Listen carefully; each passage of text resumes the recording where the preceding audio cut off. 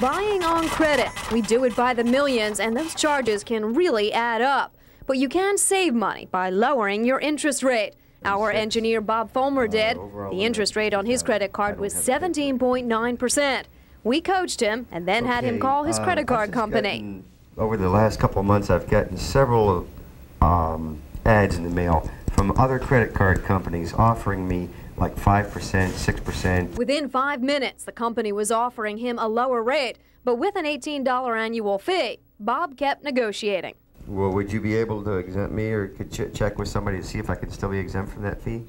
That tactic didn't work, but in the end, Bob ended up lowering his credit rate from 17.9% to 12%. Yes, I was skeptical, and the thing of it is that uh, a lot of times you get paperwork from a bank or you get advertisements, you don't pay any attention to them. I've been a customer of yours for a while now. Intern Janine Lassant, a King's College student, called her credit card company. Rates of 6%. And I was wondering if there was anything you could do for me. Simple question, and the answer was yes. The company dropped Janine's rate from 19.9% to 17.9%, which will bring a welcome savings. I think in the long run it will, because if I, now if, if I know I have a balance carrying over, at least I know it's at least 2%. It's better than that 2% increase. HealthBeat reporter Diana Penna's decrease was more dramatic, from 17.65% to 12.15% with a $20 fee. I called them up and I said, I've been getting offers from other credit card companies much lower when it came to the interest rate, and I wanted mine lowered here, and they did. They changed it for me, and I was really surprised. I'm Donna Crilley for Eyewitness News Sunrise. Italy kilowatt hours. Ham radio operators are pitching a tent and setting up shop in the great outdoors at Moon Lake Park this weekend.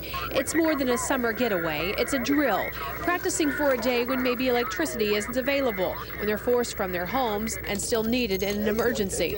Such a day did happen during the flood 30 years ago. In 72, uh, they did not have emergency power, like telephones were out, power was out, things like that. Hams were able to, to uh, provide communications. People want to know if the people back home are all right.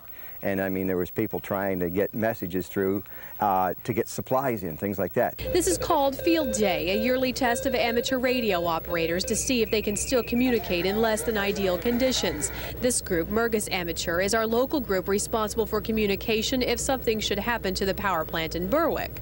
Well, this exercise is, sh- is showing a couple things. Uh, one, how we would react in emergency conditions. Of course, we'll be running a generator uh, for this exercise tomorrow and Sunday. And it also shows the FCC that the ham radio is still an important part of America today.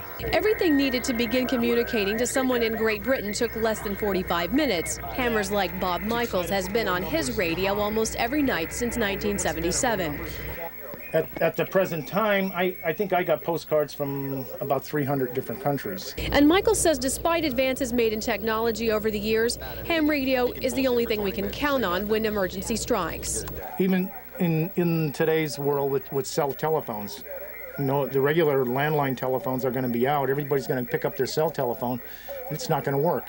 Field Day has been taking place in the United States and Canada since 1933. Tomorrow, about 30 ham operators will be here participating, making contact with nearly 30,000 nationwide.